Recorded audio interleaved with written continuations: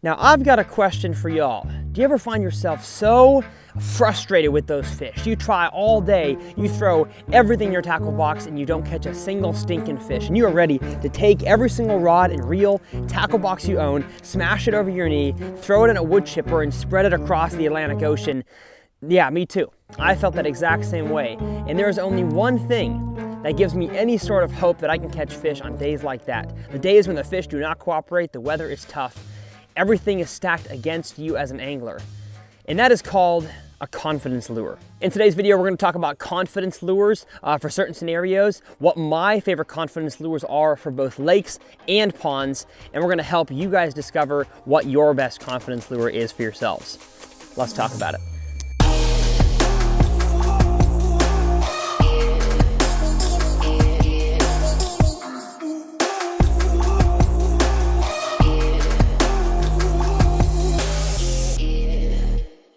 Well, how's it going everybody and welcome back to another episode of Tyler's Reel Fishing. Uh, my name is Tyler, I own this channel and I love to teach you guys how to become more efficient bass anglers. And uh, kind of the direction I'm taking this channel in 2020 is a, is a highly instructional angle. So I'm still gonna do the tournaments and the fun videos, but I really wanna use the knowledge that I have to teach you guys how to become better bass anglers. That way you guys come back to this channel all three times a week, the three videos that I upload every single week, uh, and leave after watching those videos encouraged uh, and, and, knowing how to catch more bass in more scenarios. That's always the goal of, of, at least my channel here on YouTube. So if you guys are not subscribed, click that subscribe button and uh, let's jump into the content. So in that intro, I brought up the situation of uh, you know, being out in the water, whether you're on a pond, lake, river, stream, uh, and not having any sort of luck. I'm, I'm talking like not a single bite. Uh, the fish are just completely lockjaw. They are not wanting to eat anything. And I have many of those days a year. You know, me as a YouTuber, I feel like sometimes it's just, it's deceiving that you guys think that we fish every single day. First off, that's wrong. And that we, uh, we always catch fish. And that is definitely wrong. I have so many days a year where I have only one, two, three, four fish or I get skunked. And uh, those days happen and they stink. But one thing that I learned from uh, Uh, some fishing mentors when I was first starting bass fishing was how to develop confidence lures for certain situations. You know, in this video, I'm going to talk about my two favorite confidence lures in general, but really this topic is much more broad than just a singular lure, a singular confidence lure, because you're going to fish in so many different scenarios if you are a, uh, you know, traveling bass angler like I am myself, or if you just like to fish around ponds in your neighborhood, you're going to have different scenarios which dictate different confidence lures. And I'm going to kind of separate it into two or three categories. I'm going to go with uh, a highland lake category, which is this this kind of lake right here. We have, you know, pretty clear water, rocks, a little bit of sticks. Basic, one sec, folks. One sec. Hold up. I don't know what that was, but I want to catch it. All right, sorry folks, apologize for the uh, slight sidetrack there. I did see a fish bust and heard him bust over there. Wanted to see if I can catch him. But like I was talking about, we're gonna separate this video today into a few categories to help you guys decide for you what uh, your confidence bait could be. Now, before we get started, disclaimer, you know, everybody is different. Everybody likes to throw different lures. Nobody's the same in terms of their favorite lure or how they work that lure. That's the that's the beautiful thing about fishing is that nobody's the same and the fish are never the same. So it's always a new challenge, a new puzzle. So I'm not trying to tell you guys what your confidence lure should be. I may uh, distinguish that your confidence lure might be a bladed jig by the end of this video, and you're gonna go out and you're gonna hate throwing that thing for some odd reason because you just don't like bladed jigs. So uh, don't feel the need to listen to everything that I say in terms of my suggestions to you specifically for the category that I'm gonna talk about, but I feel like I'm just trying to, I'm trying to cast the, the the largest net, the biggest blanket that I can to help all of you guys at home decide what your confidence lure could be. So it's going to be a little bit of, you know, my personal opinion mixed with, I think, just general bass fishing knowledge. So we're going to hop into the first category, which is a highland lake situation. So we have on this lake today, you know, pretty clear water, maybe five, six foot visibility, usually clearer than that out here. Uh, we have some deep, you know, rocky bluffs with a little bit of wood mixed in. And these fish here are going to be a little bit more migratory. They're going to kind of move around. And so there's two major confidence lures that I could say would work on a body of water like this. One would be a, uh, a shallow or medium medium diving crankbait as I filmed a video on just now. That video will probably be already out on the channel, so feel free to click up in this corner to check out my instructional on uh, shallow diving crankbaits. But it's either going to be that one for those fish that are migratory feeding on bait fish, or one of the confidence lures that I'm just going to talk about in general is my favorite confidence lure is the shaky head. So I'm going to get to that one a little bit later in this video, but I think for these types of lakes, if you want to consistently catch fish, you may have to turn the trolling motor on high and really buzz around the lake all day throwing a crankbait around. But I think that's the best way when the fish are in a funk to at least try to up your chances of running into fish. You know, if you're going to slow down and throw a jig over a point, you know, you may catch a bigger bass that day, but I think your, your likelihood of having a really fun day out on the water is a lot less when those fish are in a funk. And that's why I suggest using a crankbait on a lake like this. So now going into situation number two of three, I'm gonna say your uh, woody, grassy, pretty dirtier water lake, kind of your East Texas, Louisiana lake. Now, me being a Texas guy, all of my information is always going to come from a Texas point of view because I love living in the state. Although I do travel to Michigan, Minnesota, New York, Alabama, you know, quite often, I do like to use the knowledge that I gained here as a, a native Texan uh, to help you guys catch more fish. And so I'm going to kind of talk about that secondary lake, that, that, that Sam Rayburn, Toledo Bend, East Texas type lake uh, that you guys have all across the country as well. You guys are going to have a lot of the highland lakes, but you're also going to have a lot of those lakes that are mostly grasses, whether it's eelgrass or hydrilla milfoil mixed in with some wood and maybe a little bit dirtier water. And you know, those fish are probably going to feed, at least in my opinion, on, on bluegill. You know, bluegill is an incredibly high protein source of food for bass, and especially around grass, bluegill really thrive because they have plenty of places to hide uh, and raise their young, that didn't make any sense, uh, and just uh, reproduce away from the bass. You know, in a lake like this, bluegill are not the, the fastest of fish compared to a bass, and so they would have a harder time surviving in a lake like this, whereas big schools of bait fish and crawfish definitely have a better time on a lake like this. So talking about those grassy, woody lakes, I like to throw a reaction lure, and that's going to be a bladed jig. That's going to be my favorite reaction bait for that body of water, but you're going to have to do some experiment, experimentation for yourself on those bodies of water. It might be a Texas Freak Senko. It might be uh, a jerk bait or an underspin.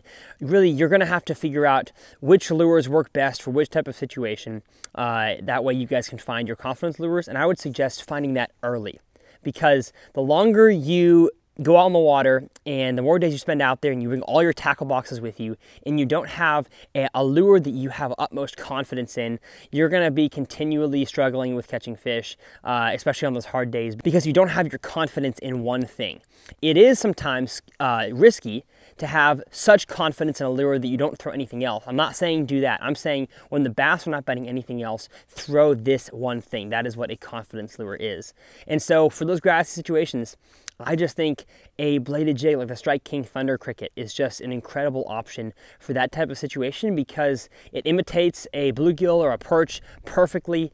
You can reel it fast, slow, you can pop it out of the grass, you can let it sit in the grass, almost work it like a jig. Uh, it is an incredible lure for that situation. So that's going to be my confidence lure for that area, and I'm assuming it's a lot of y'all's as well. And then situation number three is going to be a pond. And I'm going to vastly generalize ponds uh, by all the ones that I have kind of around me, and that is usually a mud, clay, or sand bottom with pretty dirty water, a little bit of vegetation uh, mixed in, not a whole lot in the middle of the lake, but a little bit of vegetation, probably within the first 10 to 15 feet of the bank. Some ponds just having that little weird uh, almost like hyacinth grass growing along the edge. That is your classic farm pond.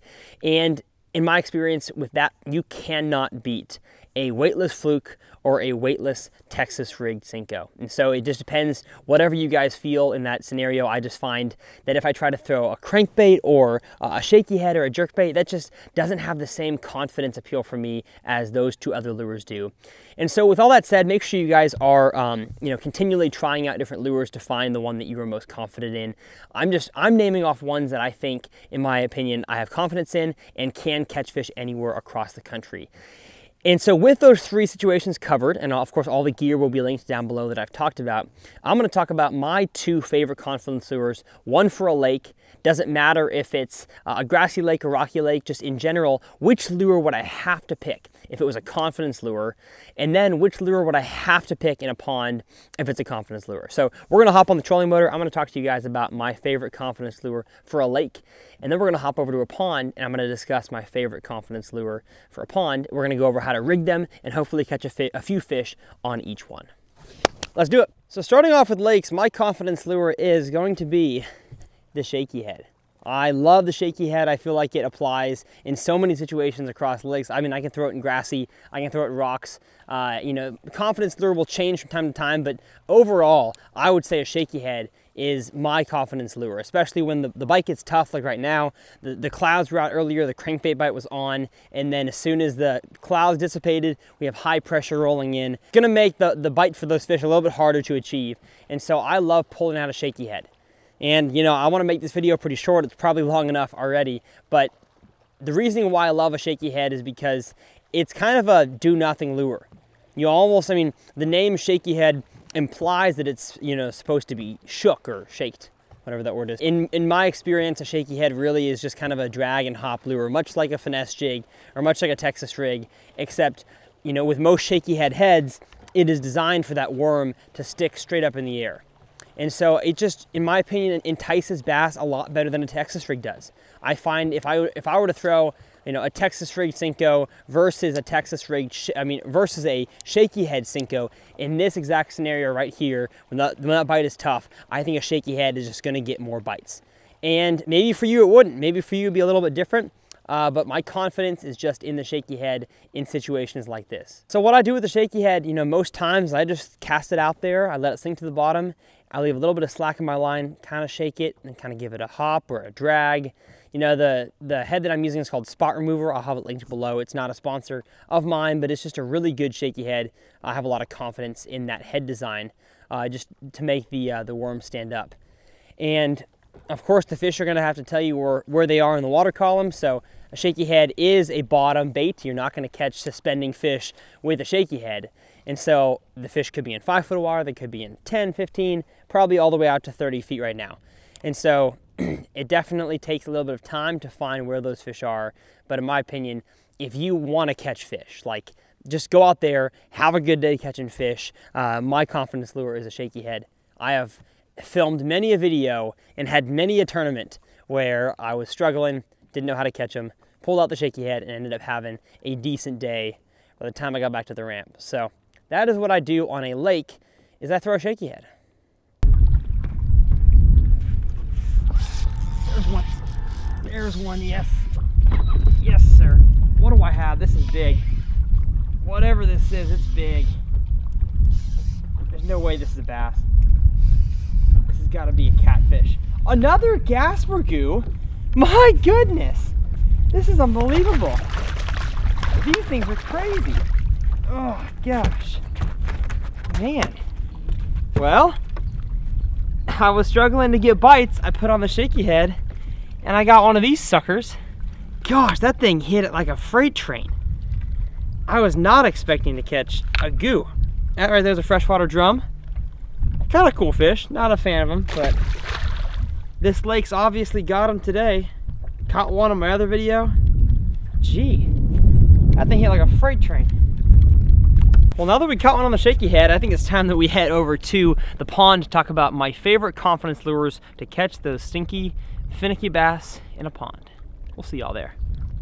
Well folks, we've made it here to one of my favorite ponds here in the area where I live and I want to talk about confidence base when it comes to ponds. So most of you guys watching this video and across YouTube, I don't know percentage wise, but most of you guys do not have boats. If you do, it's a kayak or a John boat. Most of you guys don't have bass boats like I do, even though I love to make videos that, that you know, pander to the tournament, you know, hardcore bass guys, I do like to make uh, some, uh, you know, applicable points to the guys that are fishing ponds. And in 2020, I'm actually going to be doing a whole series on breaking down ponds, fishing ponds, catching big bass in ponds, just like a whole pond series.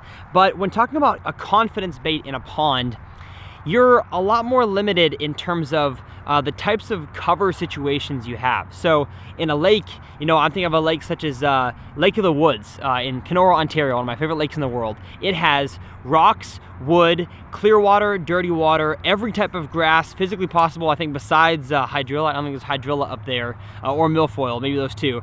And it's such a diverse lake but a pond like this, and most ponds, you know, residential ponds, farm ponds, retention ponds, they're very, very uh, simple. They either have grass, they have wood, they have one type of water clarity, uh, and they're pretty small. And so I like to keep the bait very, very simple when it comes to ponds, and that is a weightless Texas rigged fluke. This here is the Strike King Caffeine Shad in my favorite overall color, which is Pearl Blue Glimmer. It is a just very, very standard pearl white with some blue, uh, you know, on the top of the, of the bait fish. I do like a four inch over a five for ponds, especially if the bite is tough and I need to catch fish. But I mean, most times when I come out to a pond, you know, even if it's not a hard day, even if I just need to catch some fish, just to have some fun out there, I'm throwing a weightless Texas rigged fluke. Uh, if the water is a little bit deeper, let's say I'm fishing like a rock quarry, if the water is a little bit deeper there, as it would be then a pond like this with just, you know, mud bottom and grass, I might throw a belly weighted fluke, but I just have so much confidence in this bait because every pond has tiny little minnows, either this size or a little bit smaller, and every single pond has bluegill. And so I just feel like this bait cannot be beat. So we're gonna take a few casts and hopefully catch a few for you guys. I just got a backlash, that was smooth. And one thing I wanna emphasize here with both the shaky head in lakes and the weightless fluke in ponds is that most of my confidence lures uh, don't really require much action.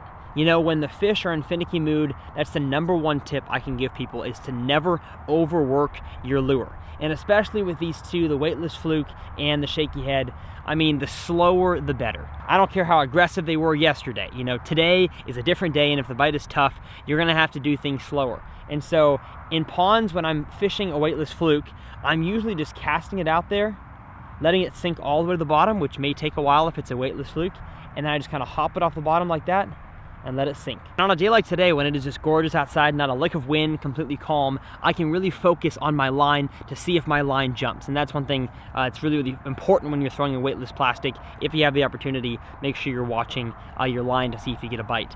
But like I said, just super simple. Not a whole lot of action to it.